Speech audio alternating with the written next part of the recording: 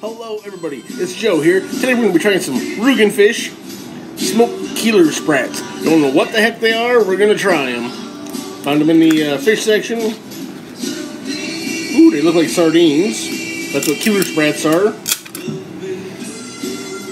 Ooh, they smell like cat food. Oh. Whew. These ones even have the tail still attached to them. Ooh.